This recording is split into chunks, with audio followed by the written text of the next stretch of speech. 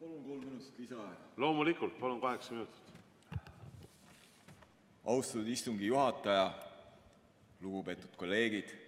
Kuna käesolev eelnõu ei käsitle rahandusvaldkonda, siis mul ei ole paraku võimalik oma pooleli jäänud ettekannet jätkata. Ja kuna praegu me käsitleme parlamentarismi ja demokraatiat, siis mul on paslik rääkida sellistest teemadest nagu teerull ja obstruktsionism ja ka lähemalt meie konkreetsest, praegu käimasolevast obstruktsioonist.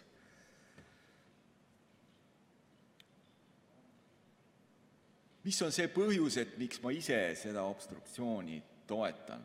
Ehk siis 366 SE, see megaandmebaas, kuhu sisuliselt ühte suurde andmebaasi lähevad kokku näiteks kaadrisõjaväelaste, politseiametnike, tavaliste inimeste ja ka kurikaelte kõikvõimalikud biomeetrilised andmed. Sellise andmebaasi omamine on lihtsalt julgeolekurisk. Me võime lihtsalt mõelda, mis juhtub, kui see andmekogu langeb isikute või ammugi organisatsioonide kätte, kes ei ole meie riiki sõbralikult suhtuvad, vastupidi, vaenulikult meelestatud. See kahju võib olla mõõtmatu. See on see põhjus, miks ma seda obstruktsiooni toetan. Aga nüüd, kui vaadata, varsti taasiseseisvumisest saab juba meil 30 aastat täis, ega obstruktsioonid pole eriti siiani õnnestunud ja kõik koalitsioonid on sisuliselt opositsioonist, kui nad on vaid soovinud, üsna lihtsalt teerullimeetodil üle sõitnud. Sellel on mitmeid põhjuseid, mida ma olen analüüsinud, aga nendest ma ei hakka rääkima, sest ma eelistan need põhjused jätta enda teada. Aga nüüd ma käsitlen käesolevat obstruktsiooni tehnilistes detailides ja matemaatiliselt, mis on toimunud, toimumas ja mida me teeme. Praegu käimasolev istung koos jätkuistungiga on 24 tundi ehk see hakkas pihta kell kaks eile ja kestab kella kaheni täna. Siia pidi lisanduma esialgselt 40-tunnine istung nädalavahetusel ehk erakorraline istung, mis oleks teinud kokku 64 tundi. See muutus kaheks istungiks laupäeval ja pühapäeval, üks kestvusega 12 tundi ja teine kestvusega 23 tundi, mis teeb kokku 59 tundi käesolevaks tsükliks, mis meil on mõeldud selle nädala lõpuni, et see päevakord läbi saada. Nüüd, et obstruktsioon läbi viia ehk viivitada sedasama teerulli, siis seda ei ole võimalik teha mingi oksarao, puutüki või ka palgiga. Seda on kõik proovinud. Siin aitavad ainult pioneeritõkked, ütleks niiviisi. Ja nüüd ma räägin natuke ajalises ja matemaatilises mõttes nendest tõketest, mida me oleme rakendamas ja juba rakendanud. Ehk siis nüüd me näeme, kellaaeg on peaaegu kell seitse juba hommikul. Mitu tundi me oleme kulutanud? Lugege need tunnid kokku.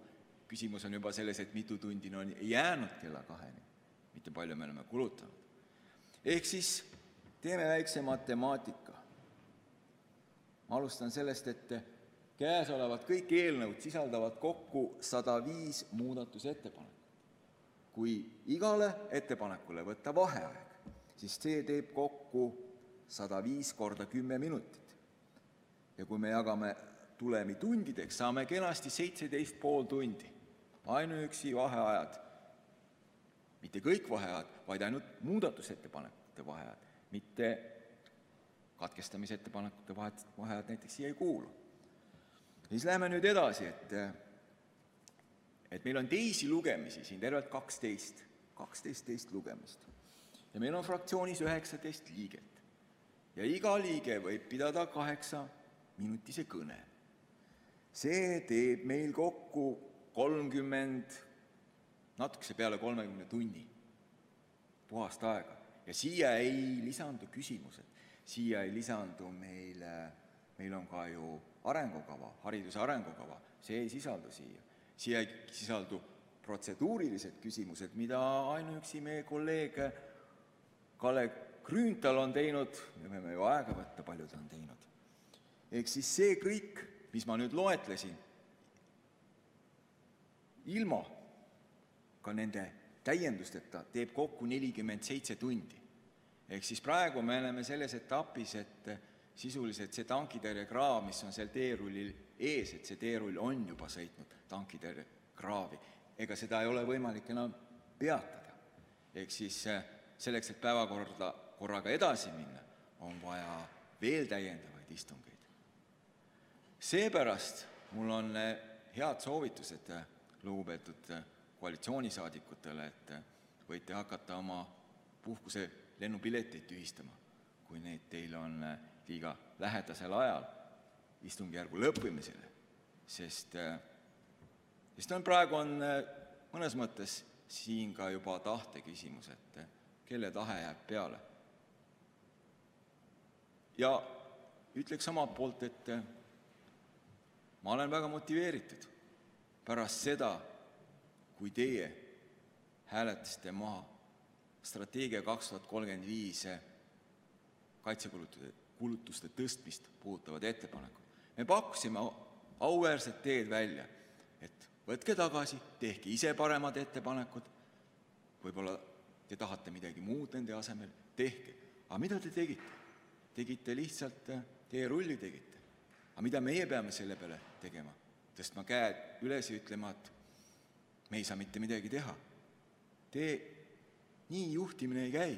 Te ei ole oma päevapalka välja teeninud ja meie ei ole oma, oma päevapalka välja teeninud, kui me seda ei tõkesta, sest nii ei saa juhtida. me oleme, ma olen hästi konstruktiivselt ja sõbralikult kogu aeg püüdnud siit puldist anda soovitusi, et mida me võiks selles olukorras teha, et siit selles julgeolekuolukorras, selles ohtlikus julgeolekuolukorras, kus me oleme, konstruktiivselt üheskoos edasi minna. ja mida ma olen näinud? olen näinud ainult teerulli.